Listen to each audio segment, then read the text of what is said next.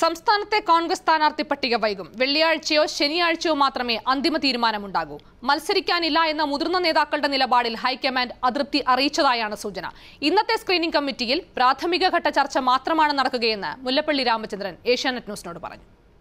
Screening കമ്മിറ്റിയിൽ ഈ കാര്യങ്ങൾ ഡിസ്കസ് ചെയ്യുന്നത് മാത്രമേ തീരുമാനം കാരണം അത് കഴിഞ്ഞിട്ട് നമ്മുടെ ഇലക്ഷൻ കമ്മിറ്റി മീറ്റിംഗ് കോൺഗ്രസ് അധ്യക്ഷന്റെ നേതൃത്വത്തിൽ ചേരണ്ടേ എന്നിട്ടല്ലേ പറ്റുള്ളൂ. ഏതാണ്ട് എത്ര സമയത്തിനകം തെരഞ്ഞെടുപ്പ് പ്രഖ്യാപിച്ചു കഴിഞ്ഞു? എത്ര ദിവസത്തിനകം ഒരു അന്തിമ തീരുമാനം കേരളത്തിലെ സ്ഥാനാർത്ഥി ഞാൻ പറയും ഇതൊന്നും ഒരു പ്രശ്നമല്ല മിസ്റ്റർ സുനിൽ.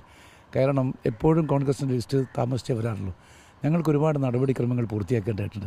അത് പൂർത്തിയാക്കാതെ ഒരിക്കൽ പോലും ലിസ്റ്റ് പുറത്തു വരാറില്ല. ഇരുപതാം തീയതിക്കകം വരാൻ സാധ്യതയുണ്ടോ? അത് അതിനേക്കാളും മുമ്പേ ഒക്കെ വരും. ഡെഫിനറ്റായിട്ട് വരും. ഏ?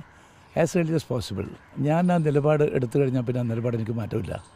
I am not going to contest മറ്റേ ഇടുക്കി കോട്ടയം സീറ്റുകളുടെ കാര്യത്തിൽ എന്തെങ്കിലും ഒന്നും കാര്യം ഒന്നും ഒരു തീരുമാനം ഒന്നും ആയിട്ടില്ല. ഞങ്ങൾ ചർച്ചയിലേക്ക് വന്നിട്ടില്ലല്ലോ. ഏ? ഇന്ന് ഒരു അന്തിമ തീരുമാനം എന്തായാലും ഉണ്ടാകില്ല.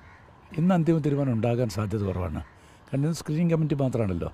പിന്നീട് കോൺഗ്രസ് അധ്യക്ഷന്റെ സമയവും അതുപോലെ തന്നെ അദ്ദേഹത്തിന്റെ സൗകര്യമൊക്കെ തന്നെ കണക്കിലെടുത്തുകൊണ്ട് മാത്രമേ ആ തീരുമാനം എന്താണെന്ന് അറിയിക്കാൻ പറ്റുള്ളൂ. ഇപ്പോൾ കോൺഗ്രസ് അധ്യക്ഷൻ ആരെങ്കിലും കാണുന്നുണ്ടോ? ഞാനോ? ഞാൻ പ്രധാനമായിട്ട് ഇതിനാണ് വന്നിരിക്കുന്നത്. സൗകര്യമുണ്ടെങ്കിൽ കാണും. അദ്ദേഹം ബിസി മാൻ വളരെ തിരക്കുള്ളതല്ലോ? പാർട്ടി പ്രസിഡന്റ് ആണെങ്കിൽ വളരെ തിരക്കുള്ളതല്ലേ?